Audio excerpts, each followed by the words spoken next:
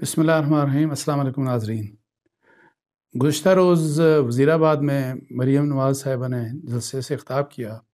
और वहाँ पे जो सबसे स्ट्राइकिंग बात थी, जो सबसे इंटरेस्टिंग बात थी, वो उन्होंने ये कहा कि सेलेक्टर्स को मुखातिब होते हुए उन्होंने कहा कि हमने कि जी, पंजाबी में उन्होंने कहा जी कि मैंने आपको माफ़ किया, हमने आपको माफ़ किया, जो भी हो गया, लेकिन हमने आपको माफ़ किया और फिर बल्कि ना सिर्फ़ ये कहा, आगे चल के उन्होंने बल्कि ये भी कहा कि मेरे प्यारे सेलेक्टर्स उन्होंने ये कहा कि मेरे प्यारे सेलेक्टर्स अब ये काम इस तरह का आप ना करना।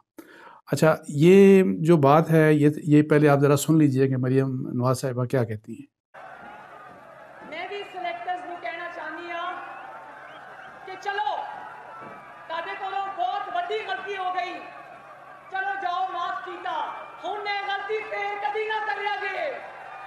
क्योंकि ਸੈਟਰਸ ਨੂੰ ਜਦੋਂ ਲੋਕ ਬੁਰਾ ਭਲਾ ਕਹਿੰਦੇ ਨੇ ਤੇ ਯਕੀਨ ਕਰੋ ਵਜ਼ੀਰਾਬਾਦ ਵਾਲਿਓ ਮੈਨੂੰ ਬੁਰਾ ਲੱਗਦਾ ਹੈ ਕਿਉਂਕਿ ਇਦਾਰਾ ਤੇ ਆਖਰ ਸਾਡਾ ਹੀ ਹੈ ਨਾ ਚਲੋ ਤੁਸੀਂ 22 ਕਰੋੜ ਆਵਾਮ ਨੂੰ ਰੋਲ ਦਿੱਤਾ ਲੇਕਿਨ ਮੁਲਕ ਰੁਲ ਗਿਆ ਮੁਲਕ ਖਵਾਰ ਹੋ ਗਿਆ ਲੇਕਿਨ ਸਿਲੈਕਟਰਸ मेरे प्यारे सेलेक्टर्स अब ये काम ना करना पाकिस्तान के साथ। अपना अपना काम करो, अपना काम करो, जेड़ा आइन ने ताड़े जिम्मे लाया है, वो काम करो। अच्छा ये आपने देखा कि ये टोटली एक चेंज टोन है। कल गुजशत रोज़ जो मैंने वीडियो की थी, उसमें भी मैंने आपको बताया था मैंने उसमें राना सनाउल्ला साहब की एक स्टेटमेंट का हवाला दिया था, जिसमें उन्होंने कहा था कि इस्टेब्लिशमेंट ने पीटीआई के ऊपर से हाथ उठा लिया। तो क्या ये उसी की कोई कंसिक्वेंस है? क्या कि जी बिल्कुल मरियम साहिबा का 180 डिग्री अब अपोजिट स्टांस है। पहले आपको याद है कि मरियम साहिबा क्या कहती थी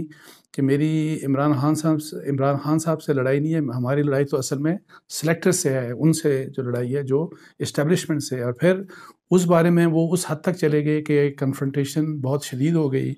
और बल्कि ये ख़तरा पैदा हो गया कि पता नहीं हालात किस किस्म के होंगे, किस तरह से आगे ये ये जो हमारा सिस्टम है डेमोक्रेटिक सिस्टम क्या ये भी सर्वाइव कर पाएगा कि नहीं कर पाएगा? और उसकी एक झलक देखिए कि उस वक़्त कि क्या स्टांस था और उसके ऊपर बाद में बात करेंगे। ये ज़रा सुन लीजिए, ज़रा नवाज़ शरीफ साहब ने गुजरवाला की स्पीच में क्या कहा था। जावेद बाजवा साहब, आपने हमारी अच्छी भली चलती हुकूमत को रुखसत करवाया और मुल्क और कौम को अपनी ख्वाहिशात की भीड़ चढ़ाया। मेंबरान पार्लियामेंट की खरीदो फरोख्त, जिससे हम अरसा दराज से जान छुड़ा चुके थे, दोबारा आपने शुरू करवाई। जजों से ज़ोर ज़बरदस्ती से फैसले आपने लिखवाए। इंसाफ करने के जुर्म में जस्टिस शौकत अज़ीज़ सदीकी और काजी फायज ईसा के खिलाफ तमाम इकदाम आपके इमा पर किए गए। आपने इलेक्शनों में अवाम के इंतखा को रद्द करके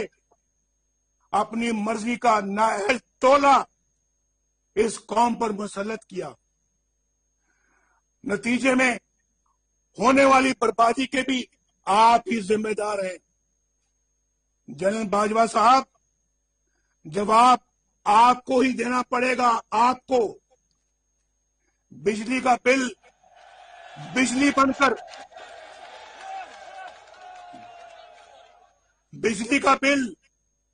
बिजली का बिल बिजली बनकर गरीब पर गिर रहा है। बाजवा साहब जवाब आपको देना होगा, दवाई ना मिलने से, दवाई ना मिलने से मेरे पाकिस्तान का गरीब मर रहा है। बाजवा साहब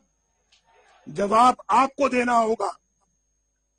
गरीब की रोटी दस रुपए की हो गई है। बाजवा साहब जवाब आपको देना होगा। अब ये सब कुछ बदल गया। एक साइड के ऊपर मरियम साहिबा ने जो बात की, अब आप अंदाज़ा लगाएँ कि एक एक्सट्रीम से आप दूसरी एक्सट्रीम पे आप आ गए और इसके ऊपर कोई एक्सप्लेनेशन नहीं कि इसकी वजह क्या है। क्या कोई कोई बिहाइंड द सीन कोई डील हुई, कोई कोई बातचीत हुई, कोई एश्योरेंसेस हुई? और ये क्या वजह है कि बिल्कुल स्टांस ही चेंज हो गया और अब टोटल टारगेट जो है वो इमरान खान साहब हैं। और आप जब सेलेक्टर्स की बात करती हैं या या नून लीग जब करती है सेलेक्टर्स की बात तो सेलेक्टर्स को सेलेक्ट करने वाले ज़ाहिर है इनका जब हवाला, जब जब हवाला होता है तो मेनली प्राइमरीली वो आर्मी चीफ़ की बात करते हैं। तो आर्मी चीफ़ जनरल बाजवा साहब को तो सेलेक्ट किया था नवाज़ शरीफ साहब ने और ये सिलेक्शन जब उन्होंने की, जब जनरल राहिल शरीफ साहब की रिटायरमेंट हो गई और उसके बाद, फिर ज़ाहिर है पनामा का हुआ, उसका कंसिक्वेंस में आपको पता है कि डिसक्वालिफिकेशन हुई नवाज़ शरीफ साहब की, फिर उसके बाद इलेक्शंस आ गए 2018 के इलेक्शंस आ गए, वो भी इंतहाई मुतनाज़ थे। और फिर उसके बाद जब नवाज़ शरीफ साहब को निकाला गया तो उन्होंने मुझे क्यों निकाला गया बयानिया दिया? कुछ इनडायरेक्टली वो अटैक करते रहे। इशारा कुनायों में जुडिशरी को भी किया और इस्टबलिशमेंट को भी किया। लेकिन फिर 2018 के इलेक्शंस के बाद आपने देखा कि आल्दो वो, मुझे क्यों निकाला वाला और वोट को इज़्ज़त दो? का जो उनका बयानिया था, उसी को उन्होंने फर्दर किया। लेकिन ऑल ऑफ़ अ सडन जो बहुत बड़ा सरप्राइज़ था, एक बहुत बड़ा यू टर्न था बल्कि on part of P M L N कि जिस वक्त जनरल बाजवा साहब की एक्सटेंशन की बात हुई, जिनको ये सेलेक्टर्स कहते हैं तो एक्सटेंशन में नून लीग ने बढ़ चढ़ कर उनको ना सिर्फ़ एक्सटेंशन दी, बल्कि उसमें लॉ पास करवा दिया कि अब आइंदा भी मतलब जो भी कोई आर्मी चीफ बनेगा, उसके लिए भी एक रास्ता खोल दिया कि वो भी तीन साल की एक्सटेंशन ले सकता है, बल्कि उससे भी ज़्यादा शायद एक दो साल उसको फर्दर भी आगे बढ़ा सकते हैं। सो ये सारा कुछ किया तो ये उस वक्त फिर अगर और जब आप अभी जो गुजरवाला की आपने स्पीच सुनी और जो बातें आप सुनते रहे नून लीग के, ये सारे के सारे उनके इल्ज़ाम वो हैं जो पनामा फैसले से, जो जुड़े हुए हैं या जो 2018 के जो इलेक्शन हुए और या जिस तरह से इनको वॉल के साथ लगाया जा रहा था पीएमएलएन की लीडरशिप को पकड़ा जा रहा था। तो कुछ अश्योरेंसेस थी, कुछ कुछ उम्मीदें थी जिसकी वजह से ज़ाहिर है आपने अगर अगर तमाम तर ज़िम्मेदारी जरा बाजवा की थी, तमाम तर ज़िम्मेदारी अगर उन्हीं की थी और उन्हीं ने सब कुछ आपके अगेंस्ट किया तो फिर फिर आपने एक्सटेंशन क्यों दी? ये एक बहुत बड़ा सवाल है जिसका आज तक जवाब ना नवाज़ शरीफ साहब ने दिया और ना इसका जवाब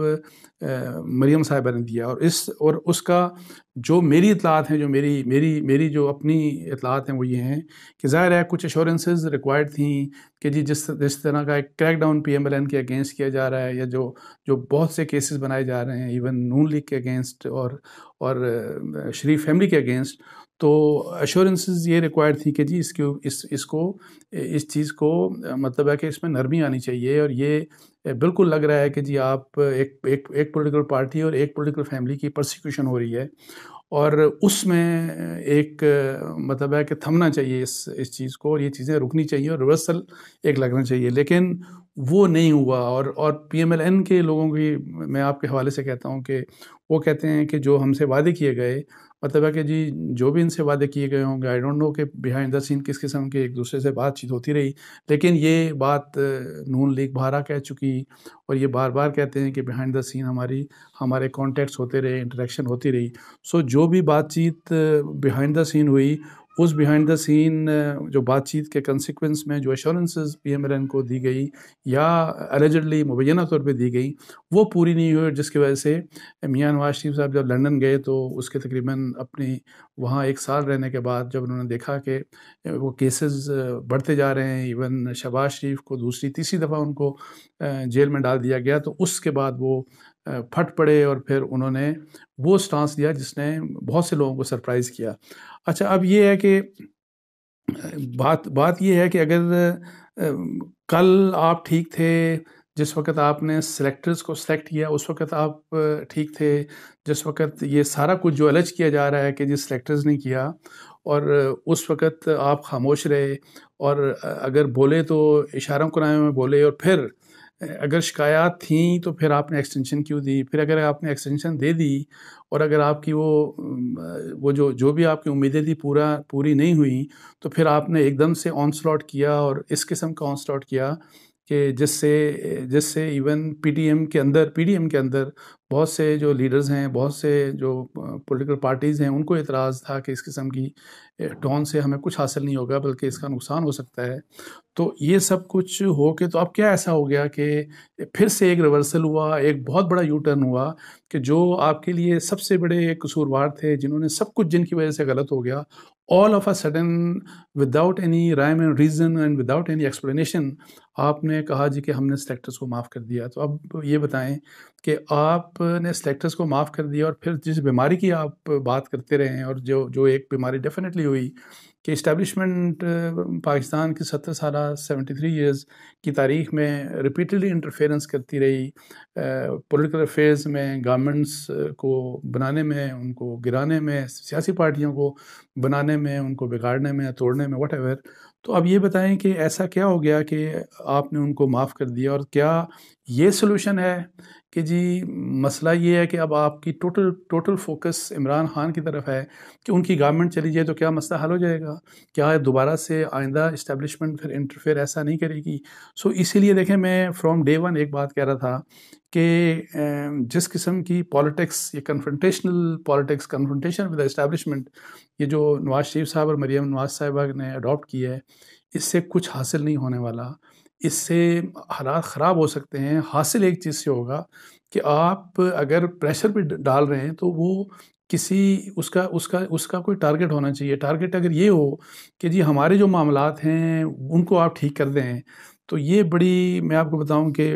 बहुत ही गलत बात है और जिसने हमेशा पाकिस्तान को नुकसान पहुँचाया कि जी पॉलिटिकल पार्टीज़ जो होती हैं या पॉलिटिकल लीडर्स जो होते हैं, वो प्रेशर डाल के कभी वो एनआरओ कर लेते हैं, कभी वो क्या कर लेते हैं, रियायतें ले लेते हैं। बावजूद इसके मैं ये नहीं कहता कि उनके साथ प्रोसिक्यूशन भी होती होगी। लेकिन अगर प्रोसिक्यूशन को आप ख़त्म करवाना चाह रहे हैं तो उसका ये मतलब नहीं कि आप सिर्फ़ अपनी ज़ात को देखें। और ये जो मरियम साहिबा ने कहा मुझे तो लगता है ऐसे ही है कि उनके यानी कि उन उन्होंने सिर्फ़ अपनी ज़ात को देखा या, शरीफ फैमिली को ही ज़ात को देखा या नून लीग के इंटरेस्ट को देखा। अदरवाइज़ ये क्या तुक बनती है कि पूरा एक एक टेंपो डेवलप करके एक प्रेशर इस्टेब्लिशमेंट को कटहरे में खड़ा करके तो आपने एकदम से उनको तो माफ़ कर दिया और फिर सारा के सारा प्रेशर आप डाल रही हैं अब इमरान खान साहब के ऊपर। अब कल फ़र्ज़ करें कोई गवर्नमेंट आ जाती है तो ये क्या अश्योरेंसेस होंगी कि उसके साथ इस्टेब्लिशमेंट ये नहीं करेगी? तो इसलिए मैं कहता हूँ कि अगर आपने ये काम करना था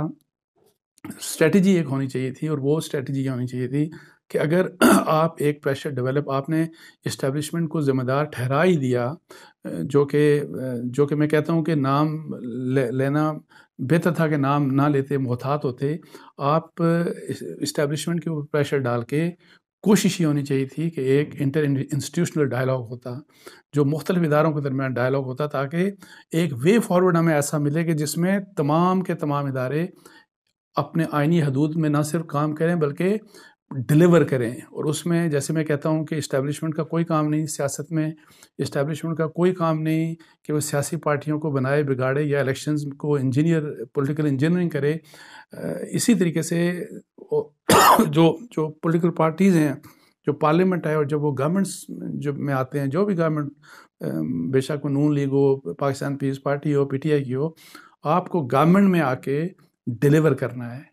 गवर्नमेंट में आके बैड गवर्नेंस आपका कोई राइट नहीं है, गवर्नमेंट में आके करप्शन करना आपका कोई राइट नहीं है। इस लिहाज से जब आप ये कहते हैं ना कि अपने अपना काम करें आइन के लिहाज से